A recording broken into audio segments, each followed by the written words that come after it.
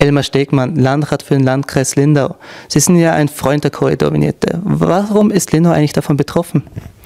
Die Korridorvignette hat sich aus unserer Sicht bewährt. Wir haben ja Verkehrszahlen da und auch Daten, wie stark die Korridorvignette nachgefragt worden war.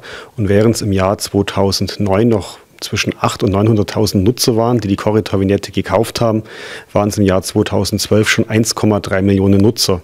Das zeigt, die Corridor-Vignette hat sich größter Beliebtheit erfreut. Sie ist angenommen worden und hat mit dazu beigetragen, die Durchgangsstraßen von Lindau genauso wie von Bregenz vom Verkehr zu entlasten.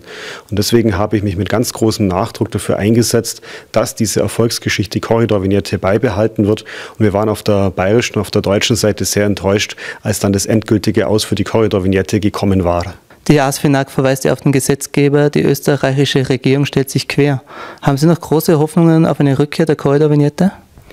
Das ist wichtig, dass man mit Daten und Fakten argumentiert. Und deswegen habe ich auch mit dem Vorarlberger Landeshauptmann, mit Markus Wallner, vereinbart, dass wir auf beiden Seiten unserer Grenze Verkehrszählungen durchführen, damit wir belastbare Zahlen haben. Und auf deren Grundlage kann man leichter argumentieren. Zur ASFINAG sei nur gesagt, Gesetze werden von den Parlamenten gemacht. Dort gibt es Abgeordnete, die werden jetzt in diesen Wochen gewählt. Und da erwarte ich mir dann schon auch, dass man ein Gesetz, wenn es sich denn bewährt haben sollte, entsprechend anpasst. Und dann kann man ja möglicherweise möglicherweise über eine Gesetzesänderung die Korridorvignette wieder einführen.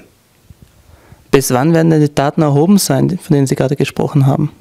Die Stadt Lindau geht davon aus, dass sie bis Ende September die Daten haben werden. Haben Sie noch alternative Lösungsideen abseits der Korridorvignette für das Verkehrsproblem rund um den Bodensee? Wir werden in Lindau eine große Verkehrskonferenz Anfang Oktober haben und uns auch dort nochmal intensiv mit allen Verkehrsthemen, nicht nur auf der Straße, sondern auch auf der Schiene austauschen.